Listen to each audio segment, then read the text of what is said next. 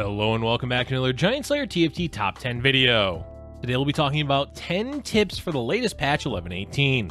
There's always little things a player can do to improve, especially in a game like TFT that's always evolving. As we're several weeks into the mid-set, this is a good time to provide a few tips to help players looking to improve. We've got a lot to cover, so let's go ahead and dive on in.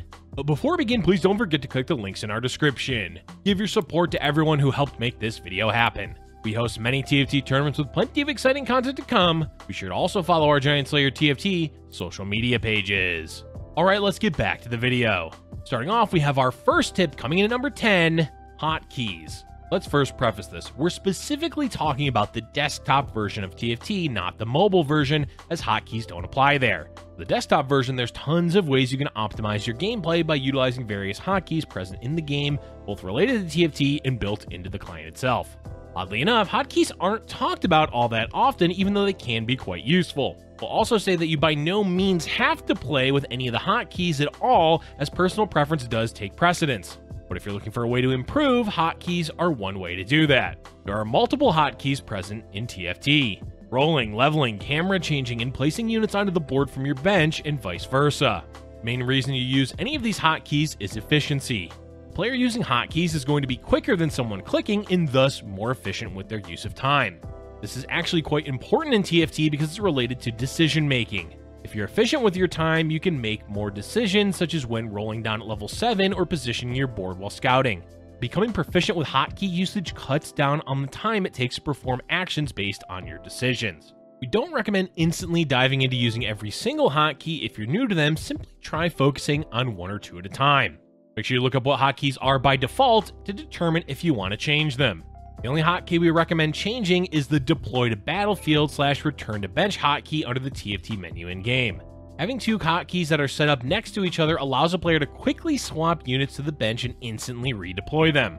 If you've ever seen a high ELO player swap units from left to right quickly, this is how. All in all, it's up to each player to decide what works best for them. Maybe you're faster clicking to roll but are slower when scouting, so focusing on camera hotkeys is better. Or a player accidentally hits the wrong key when leveling, so they want to change it to something further away from the others. All we can recommend is giving the hotkeys a try to see if it helps you improve. Let's move on to the number 9 tip, which is that the Sentinel trait is now based around items and not health. This is a fairly self explanatory tip, but one worth mentioning in case players returning to the midset are unaware of the change or for anyone that isn't familiar with how the synergy, Sentinel, applies to the initial shield and attack speed buff. Previously, this buff was based on the Sentinel champion with the highest health. This led to some wonky balancing like taking off a sizable chunk of health from Lucian and over buffing Galio. Now it applies at the start of combat to the Sentinel champion with the most items with the tiebreaker being the highest attack speed. This way you can itemize both Lucian and Galio with normal items and still have the initial boost of power on your Lucian or whichever Sentinel you want buffed initially. Again, this shouldn't be news to many players, but not everyone keeps up to date with the ever-changing balance changes of TFT. Continuing down the list, our next tip coming in at number 8 is to use Teemo as a counter to AD comps. The mid set for set 5 has leaned heavily towards AD compositions. Whether that's Aphelios, Akshan, Jax, Tristana, or any other AD champion, they are far more prevalent than most AP carries. As such, knowing how to properly counter and play against those types of boards will help you squeak out an extra round win here or there. Commonly, this is done with Ironclad and other armor-heavy frontlines like Rell with Redeemed. While effective, and you should continue to use those types of traits and champions, one of the best counters is actually Teemo. Of course, Teemo isn't always a reliable counter because, for one, buying Teemo costs health. That means any player on low health, generally below 40, buying even one Teemo is a bit too costly. Another issue is that Teemo's ability is random. There's no guarantee the mushrooms will land on the enemy AD carry. While those are definitely downsides, all in all, Teemo is still insanely good against AD carries due to the attack speed slow of his ability. It's a 50% reduction, which is a lot, and dampens the effectiveness of AD champs quite heavily. Next time you're in a lobby with a majority of AD compositions and you have the opportunity to run Teemo, we recommend doing so. With another Hellion, you'll also get the bonus of potentially winning more often with Cruel as well. Moving on, our next tip is about using positioning to manipulate the enemy board, which comes in at number 7. To begin with, let's explain what we mean by manipulating the enemy board. There's quite a few ways that we've seen this, but the most common that we've seen in set 5 is backlining most of your board so that the enemy champions move forward at the start. This was mainly popular during the Tristana meta, but the idea still has uses even without Tristana. Keep in mind this isn't going to be useful for assassins and maybe difficult to do with cavaliers since their movement patterns happen at the same time as the enemy would be moving forward. For the most part, this applies to Tristana, but also units like Akshan. Akshan wants to swing into the enemy backline and manipulating the enemy carry to move forward puts Akshan in a better position to kill them. This can also help when playing against assassins or front lines you may need to move out of position. There's a lot of applications to do this, so mess around with it and see how best you can maneuver the enemy champions to best suit your comp. With that, we can move on to the number 6 tip, don't oversell your board when rolling. We know it's tempting to just sell off your current board when rolling at level 7 or 8. There's so many high cost champions worth playing in the meta that it seems like replacing your entire board with those champions will improve your board drastically. In reality, it doesn't. The reason is that when overselling your board, you're often losing out on a lot of effective health and damage you gain from upgrading those champions. Of course, it's possible to get quite lucky and be able to instantly pivot your entire board, but in most cases, it's better to do it slowly. Take out the weaker champs or traits that aren't helping your board and replace them. Try to keep the majority of your board as upgraded units. Doing so will help reduce the damage taken in the following rounds while you continue to pivot your board. Another tip we have related to board strength is to use radiant items to shore up any weaknesses your board has, which comes in as our number 5 tip. Radiant items have been an amazing addition to the game and bring lots of power to the mid-game boards. But a lot of players tend to default their selection towards carry items or one or two utility items that are universally known to be good, like Shroud or Banshees. This is fine to do, but Radiant items make it possible to fill any gaps your board may have in items. For example, you may have multiple carry items going into 3-6. Instead of grabbing another, it's potentially better to go for a defensive frontline item.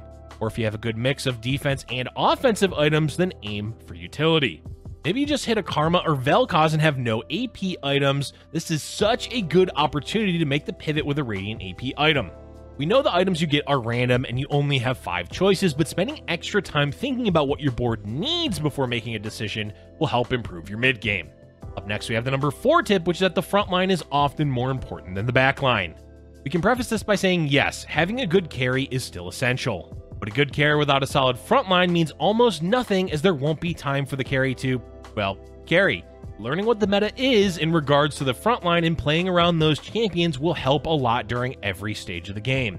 Particularly early game where a good front line is going to win you more rounds than an upgraded carry. That said, TFT is not a static game, so there may be times where you need a carry more than a front line. The point of this tip is to get players thinking about their front line more often instead of worrying about hitting the perfect carry. There are plenty of viable carries, whereas front lines tend to skew either towards Revenants or Knights, with a few other synergies like Ironclad or even the occasional Abomination thrown in. While we're not suggesting you ignore buying a carry champion, we're mainly suggesting you focus on both carries and frontline, with more emphasis on the front line. With that, we can move into our top three. The tip coming in at number 3 is to learn what champions are the best item holders. This doesn't mean item carries, but specifically item holders, meaning champions you use throughout the game as stand-ins for your eventual carry. This can be in the early, mid, or even the late game, it just depends on what items you have and what you're playing for. Fully understanding the intricacies of the meta is a bit out of the scope of what we're talking about here, we're speaking more in broad strokes for the current meta. Knowing which champions have a higher impact with items will help improve each stage of the game. For example, Kayle has become a viable late game champion. There are quite a few champions that can hold items for her, but knowing which are the best will make the pivot into Kayle a lot smoother later on. Learning this does require a few things. First off, playing the game. If you want to improve, you need to play, and playing will show you what's working and not. Second, streams. High rank streamers are an invaluable source of information on the current meta as they often play the game more than others and have a lot of knowledge. Lastly, looking up match histories can give a small idea of what comps are doing well, which gives insight into which synergies and champions you may want to consider. Overall, there's a lot of ways to go about gaining this information, but seeking it out is the first step. Next up, we have the number two tip, which is the early game has a large impact on the end of the game.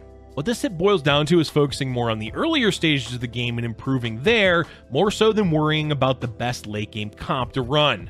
Looking up a build and seeing what's doing well in the meta can be useful, but it's not going to help you in the early rounds where you want to be saving as much health as possible and building a good economy. Specifically, we're focusing on stages 2 and 3, where doing well in those two stages can directly correlate to where you finish at the end of the game. Things like our previous tip with learning item holders or focusing on your front line. Focusing on improving all of those early game aspects is going to vastly improve your overall game. If you've ever wondered how players at the top of the ladder can be so consistent, it's because they can consistently play the early stages of the game very well. And now for the number one tip watch tournaments. The tournament scene in TFT is fantastic, with a lot of highly competitive players from multiple regions giving it their all to do well in tournaments. As we're nearing the end of set 5, that means the larger tournaments are being played, like the recently concluded North American Regionals. Watching these tournaments is a great way to gain overall knowledge on the game, even though the metas of these tournaments are often isolated. By that we mean you're not going to see a lot of those playstyles on the regular ladder, as the competitive level is much higher and the tournaments often form their own meta. So even if the meta itself may not apply to your general ladder games, the way those games are being played will. Things like positioning, pivots, how they play the early game, and what items are doing well. The list goes on and on. As such, we definitely recommend watching a tournament when you have the ability to do so, or at least the VOD, as chances are you'll gain quite a lot of insight into improving at TFT. That's going to be it for today's video, folks. There's always ways to improve a game like TFT, and even seemingly minor tips can have a big impact, so we hope these tips will be useful in helping you climb higher on the ladder.